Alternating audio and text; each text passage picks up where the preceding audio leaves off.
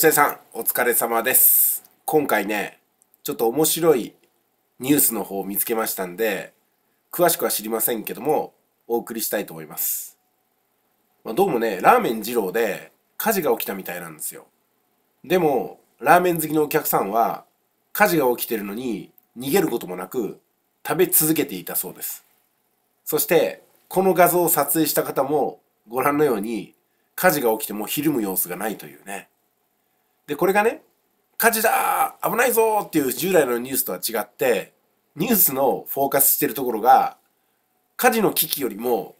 ラーメンを食べ損ねちゃいけないっていう風なね、ファンの思いになってるってとこなんですよ。つまり、命がけでラーメン食ってるなってとこです。まあ、ここまでしたらね、多分、何でもできるんじゃないかなと思いますよね。もちろんお勧めできることではありませんけども、掛け声としてね、金持ちになるためには命を懸けるみたいなこと言うことはありますよ。でも実際は別に命を差し出すとかね、なんか指一本切り落とせみたいなことにはなんないじゃないですか。それこそちょっとね、眠いのを我慢して翌日起きるのが遅れたとかね、なんかこう、疲れたとかね、うん、そのくらいでしょ？そのくらいしかないのに、お金を稼ぐことから離れてしまうって何なんですかね別に火事が起きたらネットビジネス中断してあの逃げればいいんですよ。こんなね、ラーメン食べるのを優先して命を危険にさらすようなことしなくていいんですよ。でも、なんでしょうね。それぞれ苦手なことに手を出してるのかもしれませんけども、やっぱ苦手なことを知っててね、ネットビジネスで稼ぎたいって言ってるわけでしょで、ネットビジネスで稼ぎたいのに、パソコン使いません、スマホ使いません、インターネット使いませんっていう前提があるわけないじゃないですか。なのに、ネットの活動は難しいと。難しいか？このね、火事の中ラーメンを食べ続ける方が難しいと思いますよ。いや、ちょっとね、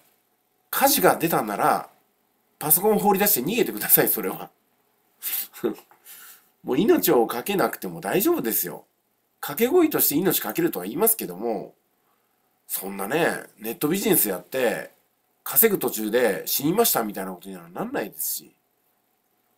そういう方向で私は特にビジネス進めないんですよ。まあ、YouTube の更新したりとかね、ブログや Twitter ちょっとやったりとか、で、集客した人にセールスするっていうところで、どこでその火事が起きたり、ラーメン食べ続けないといけなかったり、命に危機が迫ってきたりとかするんですかと。むしろ、稼がないことによって命の危機が迫ってるんじゃないですかね。だから、稼がないことの方がよっぽど危険です。ね。稼ぐために行動しても、死ぬ確率ってのは別に下がらないですし、むしろ下がりますよ。上がらないでしょ。変な言い方になっちゃいましたけど。どうしましょういってらっしゃい。